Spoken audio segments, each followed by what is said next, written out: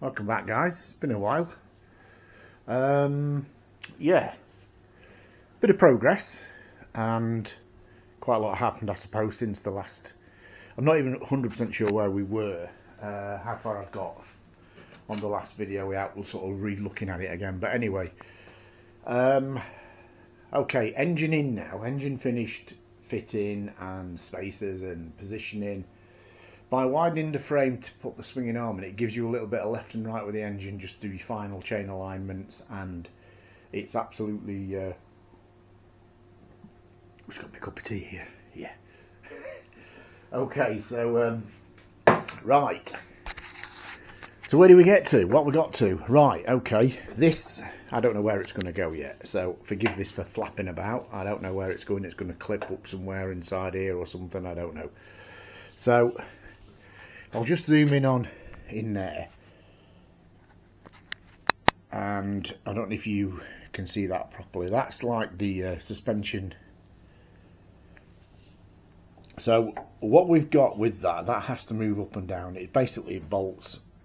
It just fastens to this underneath under there. Okay. Fastens onto that. Comes round through there and it has the two mounting points for the Ducati suspension unit and push rod uh, I think this was in in the last video, but I'd got a different mounting point up here for it.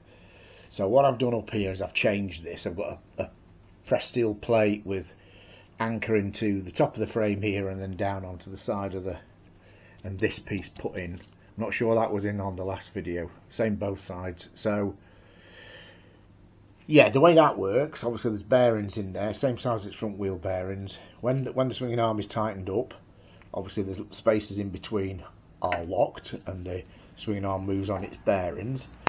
So with that I needed this bit here being bolted underneath the swinging arm. I needed this bit here to also move. So it's a little carry with bearings in there as well. So essentially it can move up and down on them bearings when it's all tight. So there we go. That's that. Um, the rocker is there. As you can see Ducati rocker there. Uh, and yeah it's all in tightened up and absolutely um, 100% when we look down the bike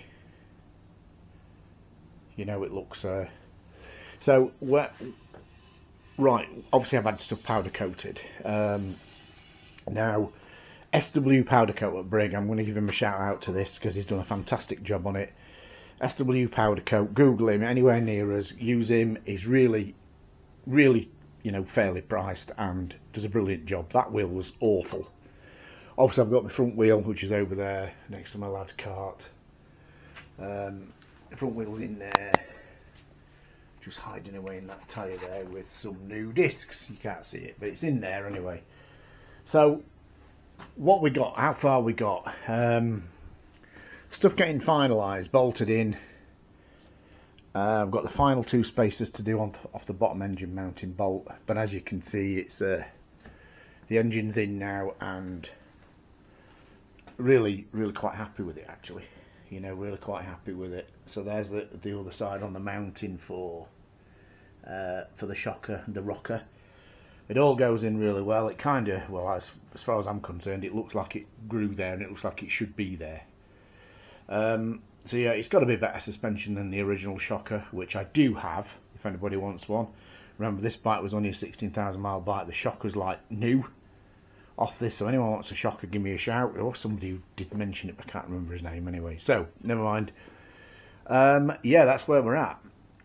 So we have wheeling, just loosely bolted yet. So, uh, but yeah, looking down it, everything looks, you know, so we're making good progress now.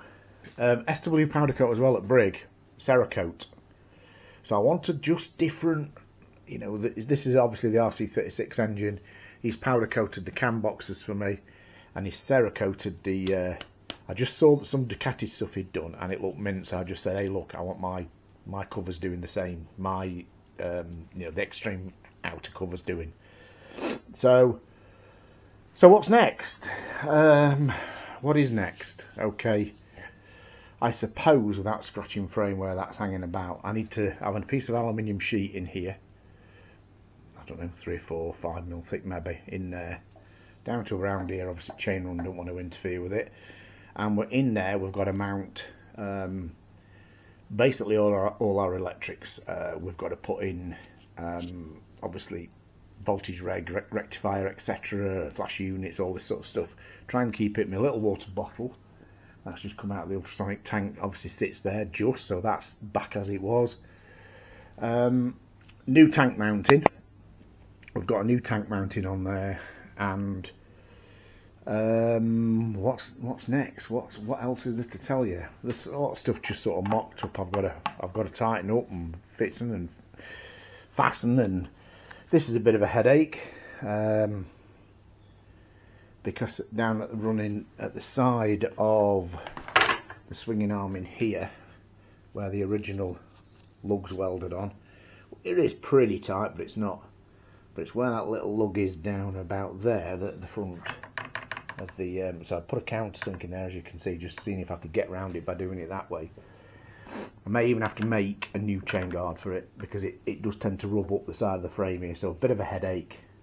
Not 100% sure what I'm going to do with it yet, but I'm sure after everything we've done, it should be uh, should be plain sailing. Well, not plain sailing, but you know what I mean. It should be easy compared to what we've already done. So, um, yeah, with the frame, I moved the lugs off the frame here.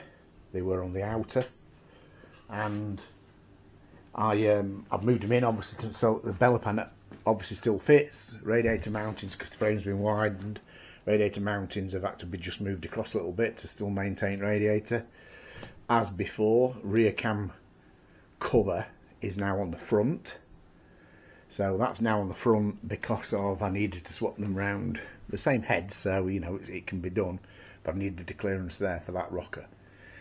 So um, you know, it all started out as a bit of an experiment, and hey, do you know what? The more I do it, the more I'm liking it. So the more I can crack on, I'm going to do it. Another swinging arm down there. If uh, anyone wants to know, or I don't know, any heads up on how you do it, or what, or what I did. Anyway, so just message me, drop me a message. Carbs on there, just wanting of work, ultrasonic tank, that kind of thing. So um, another set of carbs there. I think they're bigger. Think they're bigger 750 carbs then than those. I don't know, somebody will to tell us. Troubles with these, they've had they've been bent really. The little bell mouths have been bent on them, so hey. Yeah, so there we go. I'm really, uh, really pleased with its progress. Really pleased with its progress. You know, so um, if I get, let me get the tank. What I'm going to do, I'm just going to put camera on the wheel for a second while I put the tank on. Just bear with me two seconds while I get the tank. Bit too so petrol in there.